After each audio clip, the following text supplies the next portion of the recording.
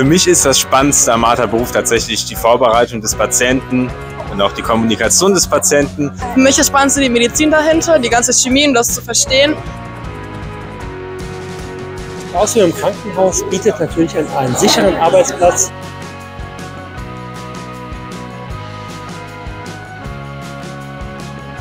Der MTA-Beruf ist äh, sehr, sehr vielfältig. Äh, wir sind zuständig für die ganze Bildgebung im Krankenhaus. Äh, wir sind immer die erste Stelle, an die die Patienten kommen, um zu schauen, was überhaupt los ist im Körper.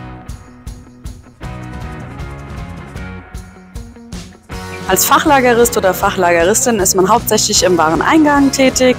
Ähm, da werden die Pakete ähm, angenommen und kontrolliert und äh, dementsprechend dann an das Krankenhaus versendet. Das Schönste an der Ausbildung ist für mich einfach das Große und Ganze. Das heißt, man hat diese kaufmännischen Aspekte gemischt mit den sozialen Aspekten, die ein Krankenhaus nun mal bietet.